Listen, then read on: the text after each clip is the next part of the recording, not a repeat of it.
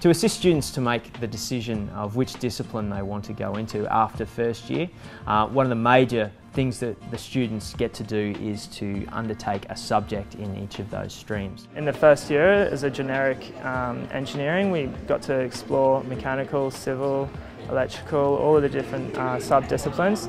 Uh, it was really good with firstly helping decide what uh, discipline I wanted to go into and also helping us all be aware of uh, the different disciplines. Every student has to do at least 12 weeks of vacation employment in industry or with uh, an engineering practice. So it's a big advantage that all students who do VAC work at JCU get paid for their, their 12 weeks. One of the advantages of doing your engineering degree at JCU is the smaller class sizes. So you get one-on-one -on -one with your lecturers, but you also uh, have less competition when you go to get some employment particularly in the regional area. I love the campus. It's pretty open. Um, the people here are very friendly. Great classes, great opportunities.